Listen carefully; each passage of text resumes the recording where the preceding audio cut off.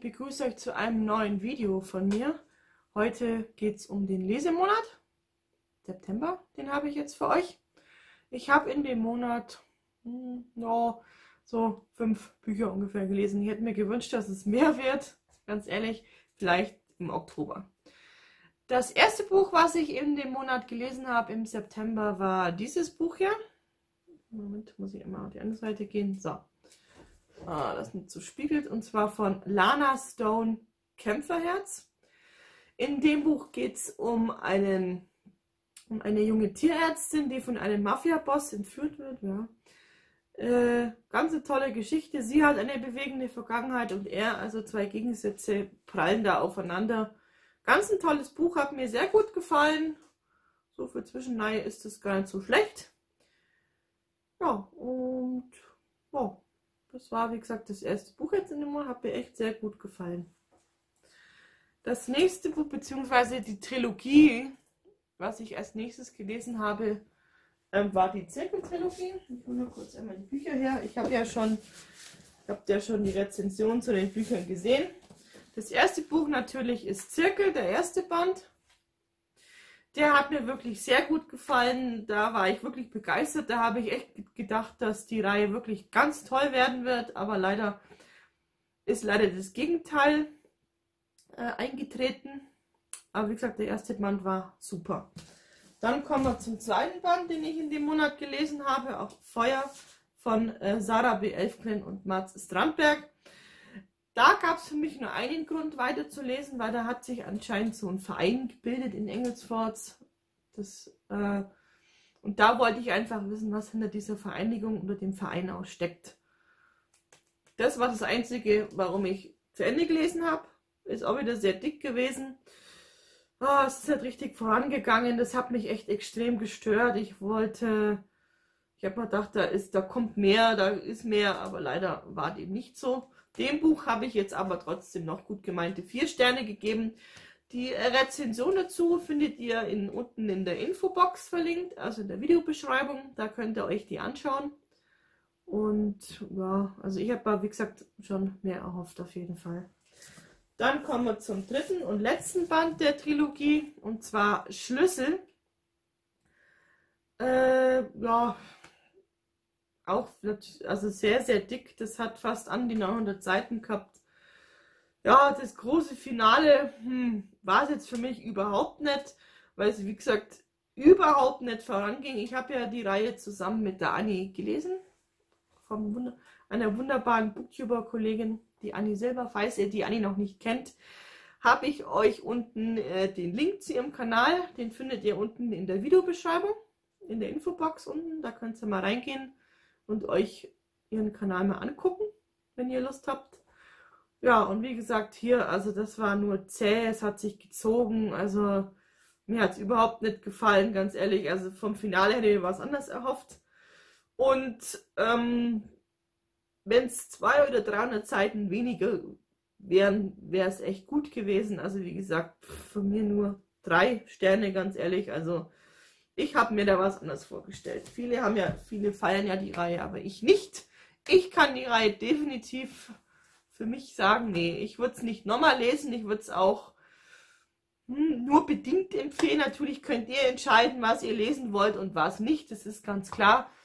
Ähm, aber für mich ist es, wie gesagt, einfach nicht das, was ich mir erhofft hatte, weil in der Rezension äh, gehe ich, da gehe ich da noch näher drauf ein. Also da könnt ihr euch äh, noch mehr informieren über die Bücher, damit ihr auch wisst, was da, was da alles, was da, was ich da alles dazu gesagt habe.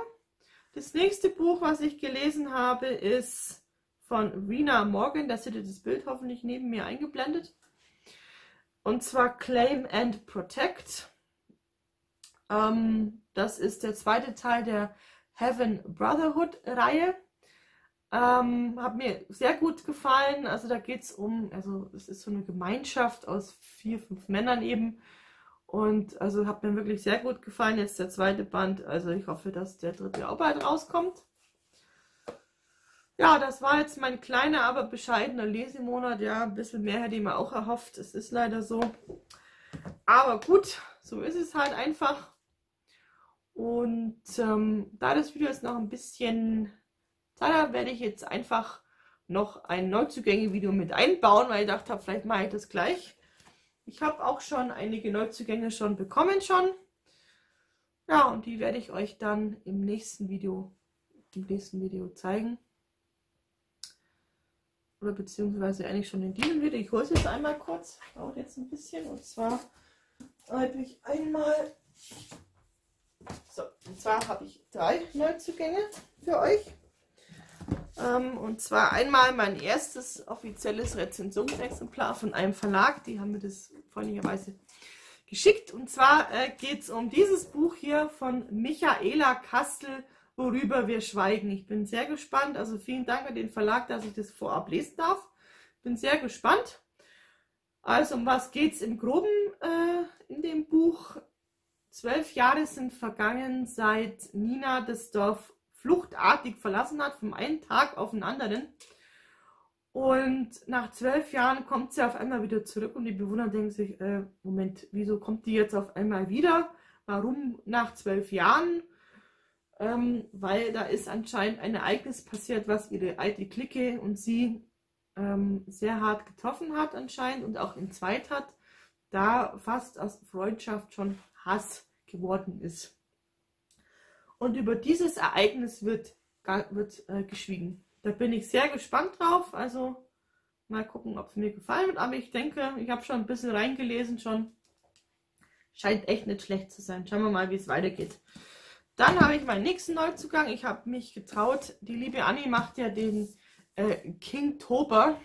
Jetzt, es ist ja Oktober.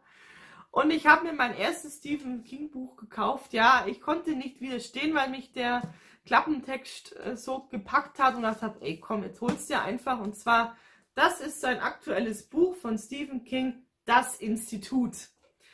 Also der Klappentext hat mich wirklich sehr neugierig gemacht. Und zwar geht es da um Kinder, die äh, unter mysteriöser Art und Weise entführt werden und in ein Institut gesteckt werden, weil die Wissenschaftler da denken, dass die Kinder spezielle Fähigkeiten haben.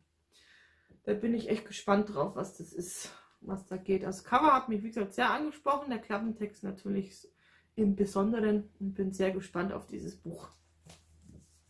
Und als dritten und letzten habe ich noch einen wunderbaren Schuber.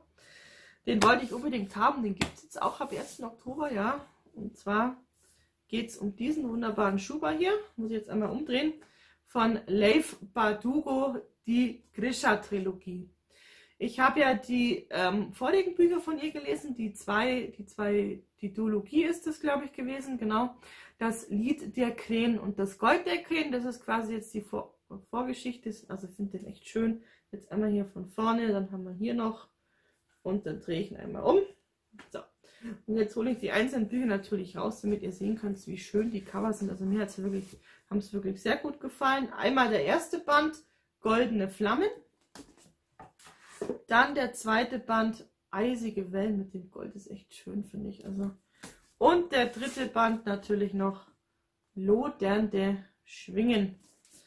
Also bin echt begeistert, der gefällt mir echt gut, dieser Schuh. Ich wollte den schon unbedingt haben, habe mir auch vorbestellt gehabt und jetzt ist er endlich da und ich freue mich, dass ich bald zu lesen anfangen kann. So, ich drehe jetzt noch einmal um, dass ihr jetzt nochmal die Bücher hier im Schuber stehen. Natürlich in der anderen Reihenfolge, gell? also das ist der erste, zweite und das ist der dritte Band. So. Ja, ähm, alle Neuzugänge und jetzt Bücher, die ich in dem Monat, Lesemonat gelesen habe, habe ich euch alle in der Infobox unten verlinkt. Falls euch das Video gefallen hat, dann lasst mir doch bitte einen Daumen nach oben da, ja. Und wenn ihr meinen Kanal abonnieren wollt, falls ihr das noch nicht gemacht habt oder Lust habt, ihn zu abonnieren, äh, unten in der Infobox findet ihr den Link zu meinem Kanal oder ihr klickt einfach unten auf den Button, wo Abonnieren draufsteht. Ja, das war es jetzt von mir. Ich habe, wie gesagt, jetzt zwei Videos miteinander kombiniert, was finde ich recht sinnvoll ist. Einmal Lesemonat, einmal Neuzugänge-Video. Finde ich, hat ganz gut gepasst.